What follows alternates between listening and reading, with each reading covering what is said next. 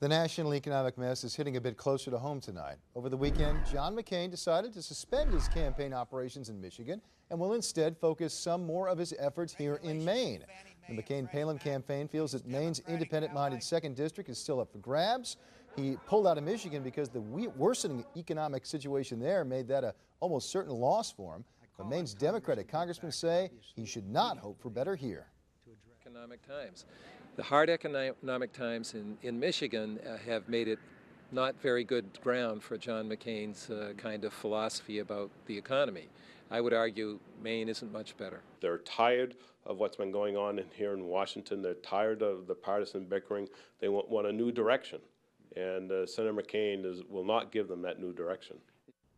In addition to Maine, the McCain campaign also plans to shift resources to Pennsylvania and Ohio, which are still key battleground states.